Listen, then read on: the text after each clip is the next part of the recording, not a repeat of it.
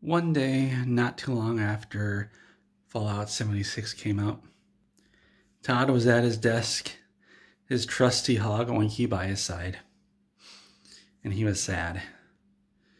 Because people didn't like Fallout 76. And the orders came on high, and they said, Todd, you've not been able to turn around Fallout 76. So we're going to have to cancel it. You're going to have to go in there and shut down the servers yourself, Todd, because we had to fire everybody else.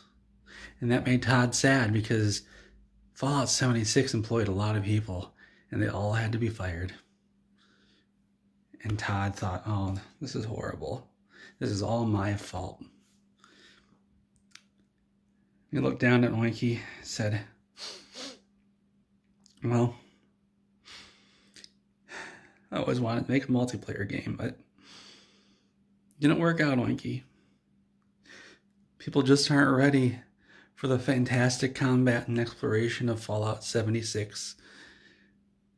Despite the fact that it's out for a cheap price and, and there's a great optional subscription. They give you unlimited storage and a forward operating base that you can place anywhere you want in addition to your camp because people just just don't want it. They're not ready. And so Todd slinked out off to the server room to flip the switch. And just as he walked by a window, a window cleaner had lifted up the window. And outside, Todd could hear singing, chanting. It was weird. And he went over and looked out, and there were thousands of people out there, out in the parking lot. And through Todd's tears, he saw that they all had signs up. They're saying, Save Fallout 76. And Todd walked out to the balcony of the ZeniMax building. There's never been any pictures, that's why nobody knows it exists. And he got his trusty microphone out. And he waved to the crowd, and everybody cheered. And he said, Hey, everybody.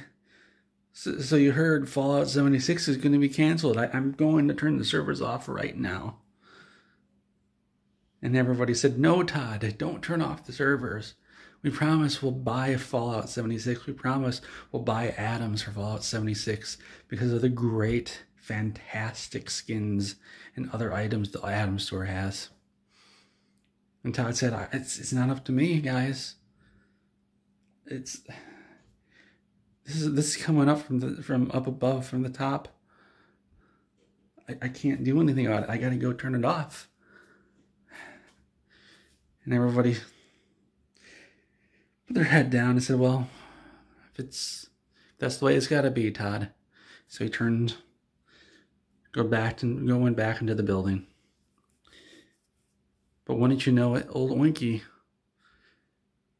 she didn't want to, she, she, she could not stand the fact that Todd was sad. And so she got up onto the podium in the, on the balcony and she gave a rousing speech into the microphone.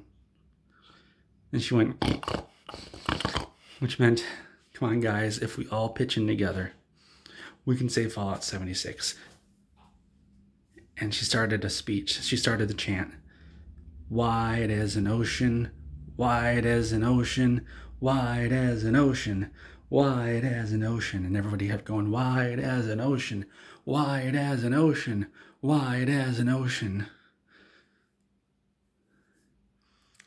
And as Todd was about to go into the server room to flip off this, the servers for Fallout 76, out now on all platforms, he heard them saying wide as an ocean, and he thought, oh, they're just trying to trick me. And then, wide as an ocean, deep as a puddle. No, guys. And he just started crying. But what he didn't know was their chant wasn't over yet. And old Oinky said, which meant, wide as an ocean, deep as an ocean, wide as an open as ocean, deep as an ocean. That's right. Fallout 76 is wide as an ocean, deep as an ocean. And they all started chanting. wide as an ocean, deep as an ocean. That's my fist. That's not somebody trying to punch me. It's not Todd over here. And at that very moment, Phil Spencer was in the building because he was going to buy ZeniMax because they were they ran out of money, and he was going to buy the whole company for one dollar. And when he heard that chanting, he suddenly realized ZeniMax isn't worth a dollar; it's worth seven point five billion dollars. And that's how they saved Fallout 76. We can thank Phil Spencer and all of the Fallout 76 fans for saving Fallout 76. It's it's a great feeling. And it made Todd happy because he got a bigger bonus this year.